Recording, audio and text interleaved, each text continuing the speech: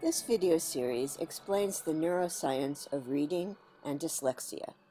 This series is for anyone who cares about these topics, such as parents, teachers, policymakers, and people with dyslexia. No prior knowledge of neuroscience is required. Reading is vital in today's society. However, the brain did not evolve for reading.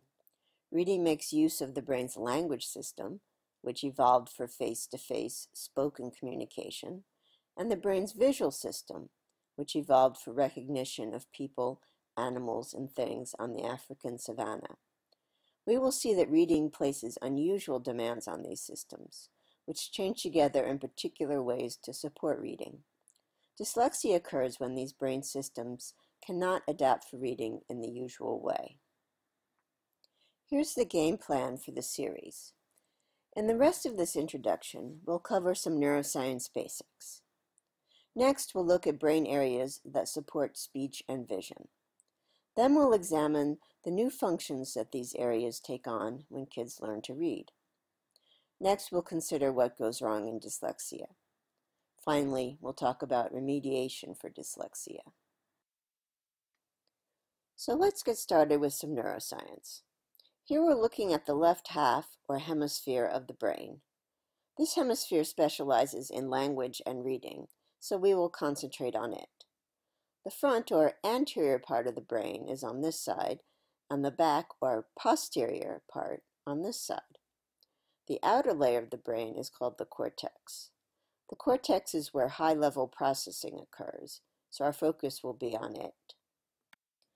The brain is composed of connected cells called neurons. A neuron is tuned to a particular thing and fires rapidly when that thing is present.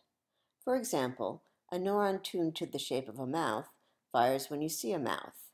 We will say that a rapidly firing neuron is activated. Neural activity is a representation inside the brain of the world outside the brain. Tuning begins at the sensory organs that provide the input to the brain, such as the eyes and ears. A neuron's tuning comes from the connections it receives from other neurons. For example, assume that these neurons are tuned to different parts of faces. A neuron that receives connections from them is therefore tuned to an entire face. When neurons fire, they help connected neurons to fire. For example, when the face part neurons are activated together, they cause the face neuron to fire. Within a cortical area, neurons are tuned to related things. For example, in this cortical area, some neurons are tuned to the shape of mouths, some to eyes, some to noses, etc. So this area represents face parts. To summarize, the take-home message of this segment is that neurons and cortical areas are tuned to represent particular types of things, such as faces and face parts. In the upcoming videos, we will look at the tuning of other cortical areas. This concludes our introduction to the basics.